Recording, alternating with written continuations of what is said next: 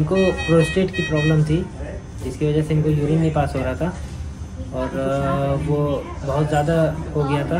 जब अपोलो आए थे तो हमको डॉक्टर आदित्य कुमार शर्मा जी ने देखा था। बहुत ही बढ़िया डॉक्टर हैं वो। उनको यूरिन से कंटिन्यूस ब्लड डिस्चार्ज हो रहा था। किडनी दोनों ही फेलियर में थी यूरिन आउटपुट ऑलमोस्ट ना के बराबर था। इवेल्युएशन में पाया गया कि उनकी एक राइट साइड की किडनी में सेवन सेंटीमीटर का काफ़ी बड़ा ट्यूमर है। इसके अलावा उनको प्रोस्टेट संबंधित प्रोस्टेट एनलार्जमेंट संबंधित प्रॉब्लम भी थी जिसकी वजह से यूरिन ऑब्स्ट्रक्शन हो रहा था। प्रोस्टेट का साइज़ भी उनका 190 अ, ग्राम था। नॉर्मल व्यक्ति में प्रोस्टेट का साइज़ 15 से 20 ग्राम होता है। तो उन्होंने सर्जरी के लिए बोला कि सर्जरी करा लेंगे तो जल्दी सही हो जाएँगे। तो उनका किडनी का हमने पार्शियल नेफ्रेक्टमी किया लेप्रोस्कोपिक विधि से।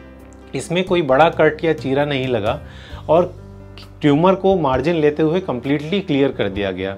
एक हफ़्ते के बाद में दोबारा से उनको एडमिट करके प्रोस्टेट का लेज़र विधि द्वारा होलेप जिसको कहते हैं holmium laser enucleation of the prostate laser विधि द्वारा ऑपरेशन किया गया। लेज़र टेक्निक का ये फ़ायदा है कि इसमें ब्लीडिंग बहुत ही मिनिमल होती है और पेशेंट को ज़्यादा समय एडमिट रखने की ज़रूरत नहीं पड़ती है।